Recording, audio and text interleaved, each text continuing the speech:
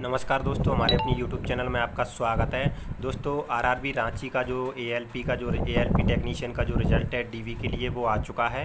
इस वीडियो में आपको बताने वाला हूँ कि कितने क्या स्टूडेंट सिलेक्ट हुए हैं डीवी के लिए और साथ ही साथ इसमें वैकेंसी कितनी थी पूरी जानकारी। आपसे रिक्वेस्ट है कि यदि आप हमारे चैनल पर दोस्तों नए हो तो चैनल को सब्सक्राइब करें वीडियो को लाइक करें शेयर करें। तो आइए दोस्तों बात करते हैं। मैं आपको बिल्कुल लास्ट में ले चल रहा हूँ। पेज है पेज के बिल्कुल लास्ट में। तो देखिए, यहाँ पर आप देख सकते हैं पेज आ रहा है।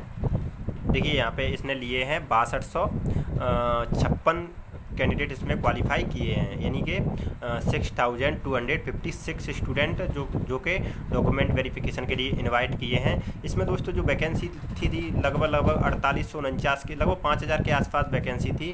तो इसने लगभग बारह सौ तेरह सौ जो स्टूडेंट हैं, वो अलग से क्वालिफाई किए हैं। यानी कि लगभग लगभग वन पॉइंट टू फाइव तो नहीं लिए हैं स्टूडेंट लेकिन वन पॉइंट सॉरी 1.5 तो नहीं लिए हैं, लेकिन 1.25 के आसपास जो स्टूडेंट हैं, वो डीवी के लिए क्वालिफाई किए हैं। दोस्तों किसमें? कौन से जोन में?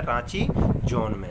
तो दोस्तों, रांची जोन का जो रिज़ल्ट है, आरआरबी रांची का वो आ चुका है। इसमें बासठ सौ छप्पन स्टूडेंट क्वालिफाई किए हैं और जो वैकेंसी थी लगभग लगभग पाँच हज़ार के आसपास वैकेंसी थी। तो ठीक है दोस्तों, वीडियो देखने के लिए